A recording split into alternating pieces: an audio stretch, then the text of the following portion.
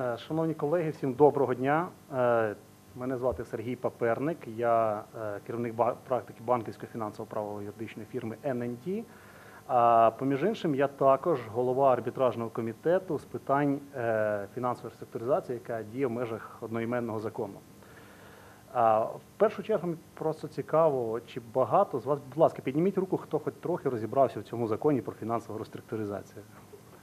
На Ну, хоч, хоч трошки, хоч трошки. А скажіть, будь ласка, хто взагалі не знає, що це за закон? Є таке? О, це чудово. В будь-якому випадку я зараз трошки його освічу для вас е, і розповім. Е, колеги, коли я готував цей, цю доповідь, е, виявилося, що її поставили в секції з питань банкрутства. І тому я подумав, що було б, мабуть, непогано не просто розповісти про закон про фінансову реструктуризацію, а провести певну паралель з процедурою, яка існує у відновленні платоспроможності боржника, і яка дуже схожа на фінансову реструктуризацію як таку. Звісно, я маю на увазі досудову санацію. Обидві ці процедури е, мають спільну мету. Вони полягають у тому, щоб регулювати заборгованість, відновити платоспроможність. Обидві процедури е, можуть, е, скажімо так, дуже схожі зсередини. І обидві ці процедури трошки конкурують між собою. І я подумав і пропоную зараз винести цю конкуренцію прямо зараз у сесійну залу і спробувати їх зіштовхнути між собою, щоб ми з вами зрозуміли, яка ж ця процедура ну, нам здаться більш доцільною. Я прошу дивитися на екрани, якщо комусь не видно, тому що там буде трохи візуальної інформації, а говоритиму я, певно, менше, а може і ні. Ем, е, Тож порівняємо, зіштовхнемо їх у певному батлі. Е, Звісно, певно, не дуже вічливо такі поважні процедури зіштовхувати між собою самостійно. І тому я попросив про певну допомогу. Мені допоможуть два бійця. Одного звати Рю, інший Кен Мастер, це бійці з відомої е, гри 80-х Street Fighter. Боєць у білому кімоно Рю захищатиме фінансову реструктуризацію, боєць у червоному Кен Мастерс битиметься від імені досудової санації. Подивимось на наших бійців, що в них є в арсеналі. Ну, перший боєць, фінансова реструктуризація. Чим вона характеризується? Ну, по-перше, вона ініціюється боржником і виключно боржником. Але не просто так, а за згодою 50% кредиторів фінансових установ. Що ще є в арсеналі фінреструктуризації? Це IBR, Independent Business Review, незалежний звіт е, експерта щодо фінансово-господарської діяльності. Е, Ця процедура не поширюється на кредиторів, які не дали згоди на її участь, лише тих, які дали. Ця процедура містить мораторій, і він діє лише протягом процедури, на відміну від того ж самої санації. Е, Для того, щоб затвердити цю процедуру, потрібно не менше, ніж 2 треті голосів залучених кредиторів. Ця процедура в своєму арсеналі містить дуже серйозну фічу. Це податкові та інші пільги, про які я розповім. І е, її виключна особливість в тому, що вона абсолютно позасудова. Ніякого втручання судової влади в неї не потребується. Що у нас має другий боєць? Другий боєць у нас ініціюється або боржником, або кредитором, але в будь-якому випадку для цього потрібна згода. Згода потрібна е, більше 50% всіх кредиторів за даними бухгалтерського обліку боржника. Для того, щоб схвалити план санації е, зборами кредиторів, їх потрібно провести збори кредиторів, проголосувати і погодити із усіма заставними кредиторами письмово. Е, Особливістю цього бійця в тому, що він затверджується судом. Без суда ніякої санації не відбудеться. Ну і, звісно, дуже потужна зброя, мораторій. 12 місяців можна не платити нікому нічого. Е, Провести цей бій я пропоную не просто віртуально, а на певному штучному практичному кейсі. У нас є товариство перспективне, яке хоче врегулювати заборгованість. У нього є певний пул кредиторів, це банк на 1 мільйон гривень, з яких там половина це заставне майно. У нас є інший кредитор, чуже на таку саму гривень. І є дуже дивний кредитор, який називається своє, який має суму, що перевищує е, кількість голосів інших кредиторів. Ну, що ж, я думаю, що можна трохи розім'ятися. У нас триватиме бій. І, як то кажуть, спробуємо їх порівняти. Ну що ж, перший удар у нас завдає Ой, який поганий шрифт, ну нічого. Перший удар у нас завдає досудова санація. Вона б'є введенням свого кредитора за допомогою товариства своє, яке виявляється ну, дуже чемним і дуже добрим до боржника. Е, е, воно фактично голосує за всі рішення, які боржнику дуже хочеться і дуже потрібні. Е, Таким чином, фактично, боржник може схвалити план санації, який йому зручний. Дуже потужний удар. Та чи може цим відповісти фінансова реструктуризація? Е, Фінансова реструктуризація може відповісти на цей удар. Е, Справа в тому, що в фінансовій реструктуризації е, така ситуація практично неможлива. Закон містить дуже гарне визначення пов'язаних осіб. Серед них є пов'язані бенефіціаром е, особи, серед них є е, особи, які є родичами, серед них є навіть поручителі і майнові поручителі. Всі ці особи не рахуються для визначення вимог чи голосів в процесі фінансової реструктуризації. Тому е, дуже складно вести свого кредитора. В більшості випадків він буде відсіяний. Що ж, пробуємо далі, що в нас може.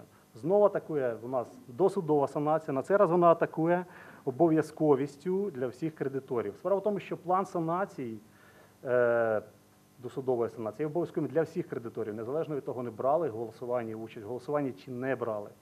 І сам цим фінансова реструктуризація похвалитися не може. Фінансова реструктуризація діє лише для тих, хто захотів в неї вступити. Ні для кого іншого вона не діятиме і всі умови її не вдіятиме. Дуже потужний удар. Фінансової реструктуризації просто нема чим крити цей удар. М, Окей, що в нас далі? Знову удар від досудової санації.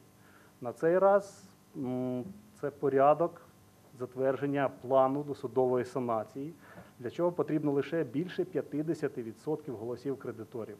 Як я сказав, фінансові реструктуризації для цього потрібні всі або принаймні дві треті голосів.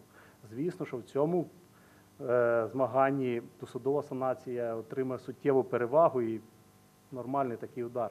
Чесно кажучи, я вже дуже хвилююся за нашу фінансову реструктуризацію. Подивимось, чи може вона нам щось відповісти. А таки відповідає. І перший удар фінансової реструктуризації це незалежний звіт про фінансово-господарську діяльність. На відміну від санації, де всі дані і всі голоси, і всі розміри кредиторських вимог е, підтверджуються лише бухгалтерським обліком, який може бути будь-яким. У фінансовій реструктуризації для цього е, існує абсолютно безсторонній, абсолютно самостійний суб'єкт, незалежний експерт, який може повністю перевірити всі кредиторські вимоги фінансової реструктуризації і надати звіт всім особам, що в ній приймають участь, абсолютно чесно і відкрито. Більше того, цей звіт е, повинен підтвердити, що діяльність, що фінансова реструктуризація має сенс, що діяльність товариства є перспективною. І знову нас атакує фінансова реструктуризація, податкові та інші пільги. Для тих осіб, які вступають в фінансову реструктуризацію, е, передбачається е, не нарахування податку на прибуток у випадку прощення боргу. Передбачається не нарахування ПДВ, якщо сторони набувають майно в процедурі. Для цих сторін, для банків е, не застосовуються нормативи короткострокової ліквідності, не застосовуються нормативи інвестування і е, нормативи кредитного ризику.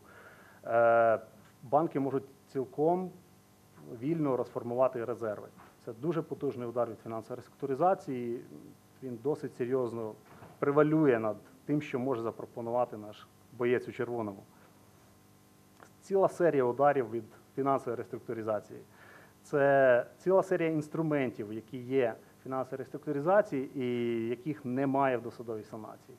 Це можливість простити борг, це можливість встановити розмір відсотків навіть на нульовий рівень. Це можливість дуже цікава, е, дуже цікавий інструмент перевести борг у капітал. Це перший закон в Україні, який надав фактично е, юридичну можливість обміняти е, свої боргові зобов'язання на е, частку у статутному капіталі боржника.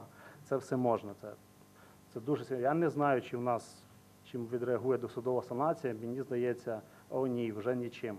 Фінальне комбо від фінансової реструктуризації арбітраж. В той час, поки е, прихильники бойця у червоному можуть е, довго судитися, намагатися е, оскаржувати, затягувати судовий процес, Е, Фінансовій реструктуризації діє незалежний арбітраж, тривалість якого не перевищує 15 днів. Уже за 15 днів сторони у випадку будь-якого спору отримують рішення на свою чи на іншу користь, якщо вони були неправі. Арбітраж обов'язковий для всіх. Арбітраж може бути визнаний і виконаний в встановленому порядку е, відповідно для будь-яких інших арбітражних рішень. Ну що ж, я думаю, що це просто перемога. В цьому бої всі інтереси захищені, фінансова реструктуризація перемогла. Е, перемогла, причому з рахунком 8-3, як ми бачимо з цього. Е, колеги, насправді я хочу перепросити за трошки жартівливий тон моєї презентації. Насправді я не думаю, що досудова санація настільки погана процедура. Але на сьогоднішній день, на мій погляд, фінансова реструктуризація як е, інструмент врегулювання заборгованості боржника має більш е, серйозний, більш прогресивний підхід до цієї процедури. В той час, як досудова санація ще несе в собі недоліки старого законодавства. Е, Я впевнений, що в певних випадках досудова санація в цьому двобої могла би перемогти. Бувають такі ситуації. Але в переважній більшості я би їм радив у випадку виникнення подібних ситуацій боржникам все-таки придивитися до фінансової реструктуризації як такої. Е, і тому я думаю, що в цьому випадку будуть виграші всі, і в першу чергу економіка України, яка зможе врегулювати свої фінансові зобов'язання. На цьому я б хотів би подякувати нашим бійцям, Кену, Мастерсу та Рюзу і всім вам за увагу. Дякую, колеги.